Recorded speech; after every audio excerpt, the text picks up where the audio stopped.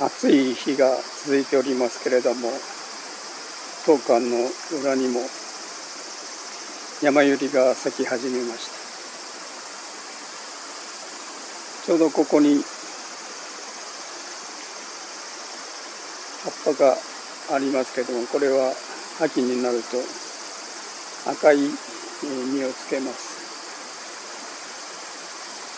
毒うつぎといって本三大独創の一つです。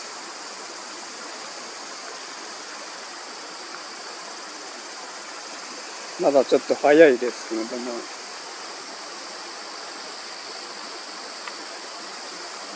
これは苦外草です。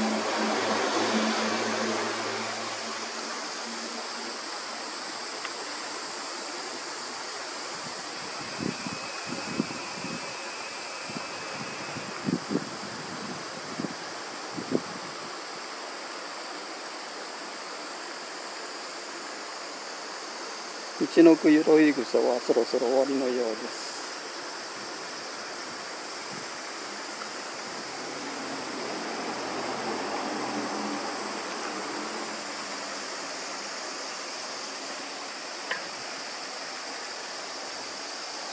山入りはここにもあります。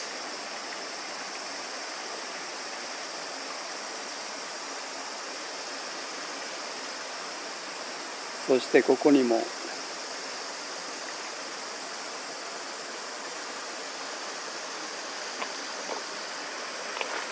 これはまだつぼみの山百合です。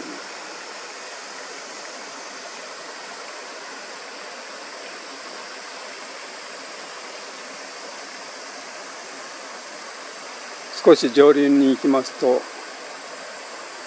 上の方にまだ山百合が咲いております。そしてその下にはホツツジが咲き始めました。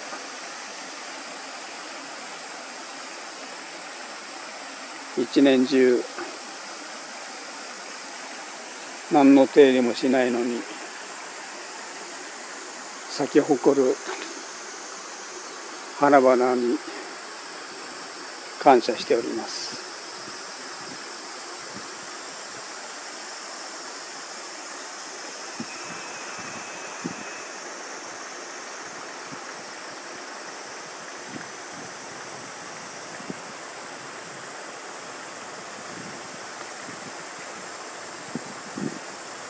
当館の裏山崖から山寄りの情報をお伝えいたします。